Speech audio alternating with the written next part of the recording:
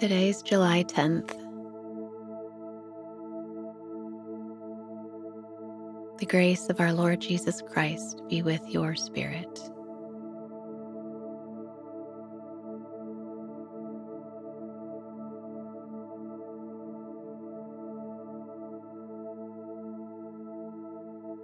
Take a moment and quiet yourself.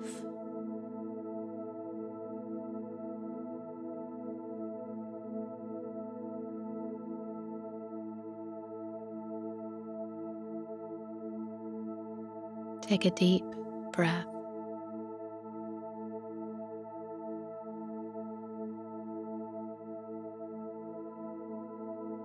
Welcome God's presence and say, Come, Holy Spirit.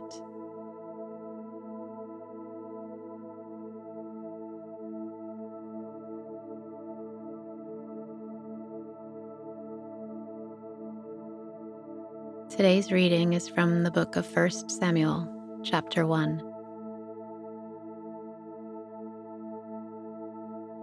Once, when they had finished eating and drinking in Shiloh, Hannah stood up. Now Eli the priest was sitting on his chair by the doorpost of the Lord's house. In her deep anguish, Hannah prayed to the Lord, weeping bitterly. And she made a vow, saying, Lord Almighty,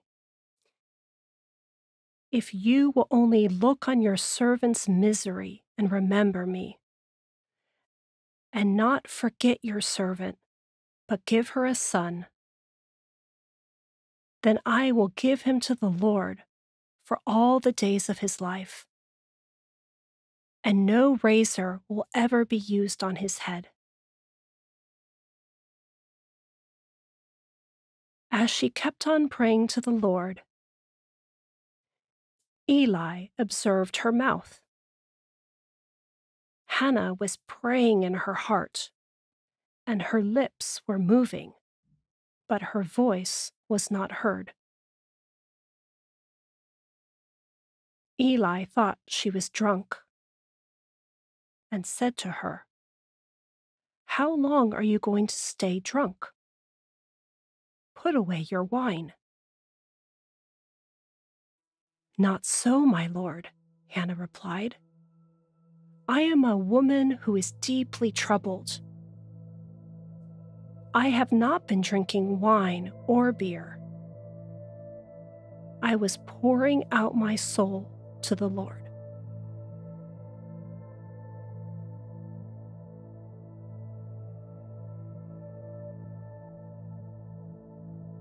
Hannah was heartbroken. She was in anguish and was praying desperately to the Lord for a child.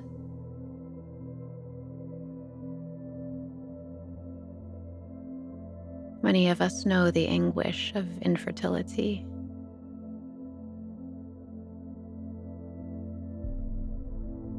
Some have even walked through the valley of the shadow of death during the illness or loss of a child.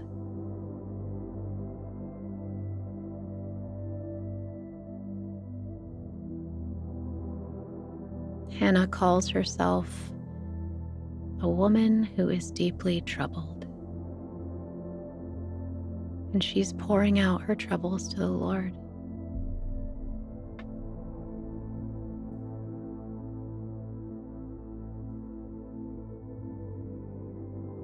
Samuel, if we're going to be honest, is a troublesome interruption. He doesn't notice her pain and even makes an accusation against her.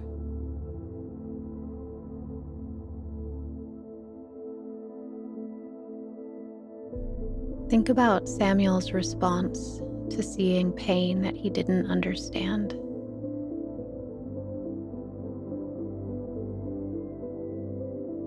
How does that make you feel?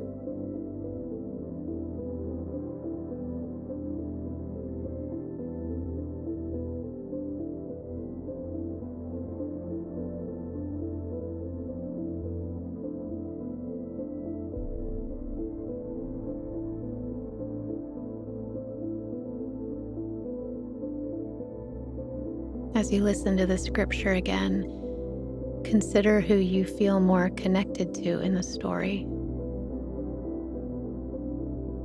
Are you like Hannah, feeling miserable or bargaining with God for an answered prayer?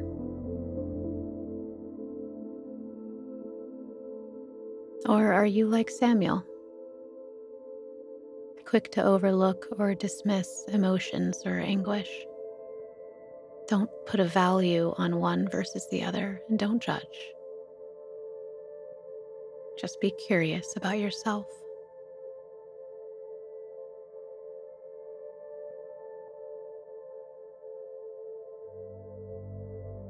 Once, when they had finished eating and drinking in Shiloh, Hannah stood up.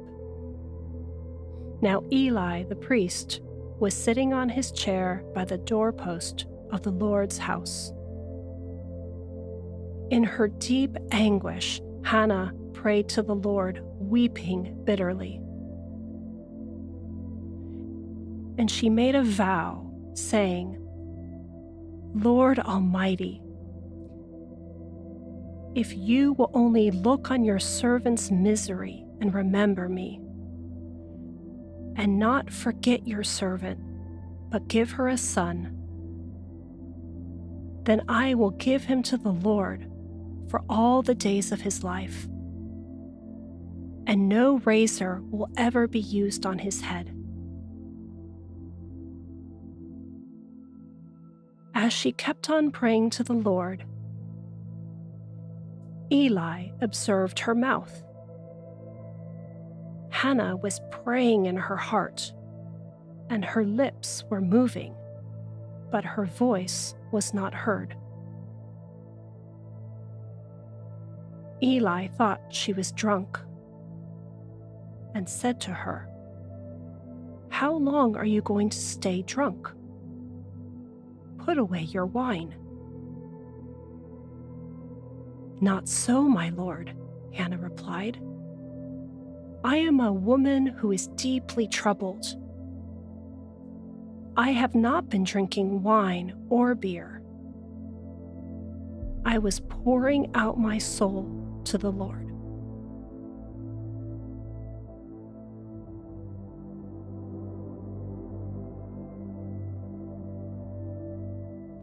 I imagine that many of us came to prayer today with profound needs or deep desires. Some may have come filled with deep troubles.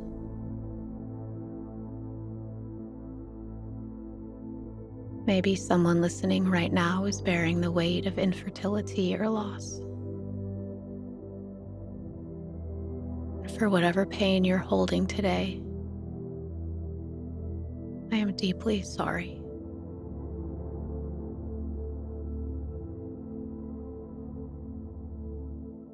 As we end our time of prayer, let's hold one another before the Lord.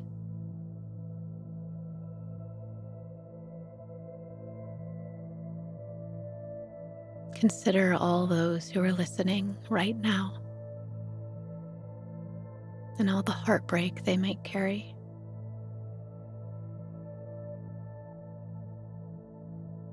Ask God to draw near as He promises He will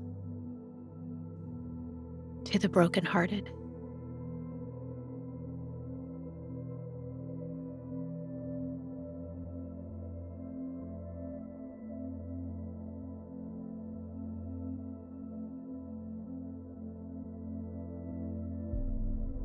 Lord God, Almighty and everlasting Father, you have brought me in safety to this new day.